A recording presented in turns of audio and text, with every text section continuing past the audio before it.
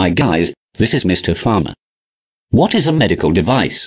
According to World Health Organization, a medical device is an instrument, apparatus, or machine that is used in the prevention, diagnosis, or treatment of illness or disease, or for detecting, measuring, restoring, correcting, or modifying the structure or function of the body for some health purpose. So what is the scope of medical devices? The global medical device industry's current value was $442.5 billion in 2020. The global market for medical devices is expected to reach $612.7 billion by 2025. The increasing geriatric population, increasing chronic conditions, are expected to lift the global market for medical devices. Pharmacy graduates have greater scope and opportunity of high-paid salary jobs in this sector.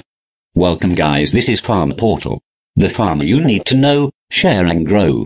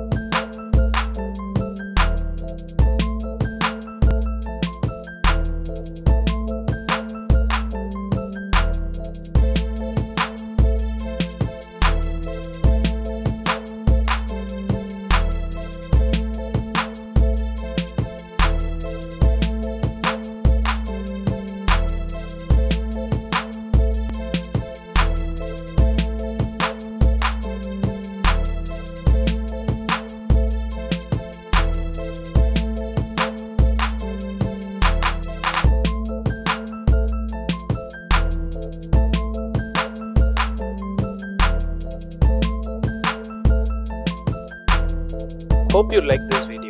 Encourage us by hitting the like button. If you have any questions, post it in the comments and share this video to your friends and family. Most importantly, subscribe and press the bell icon for regular notifications from our Pharma Portal channel. Bye.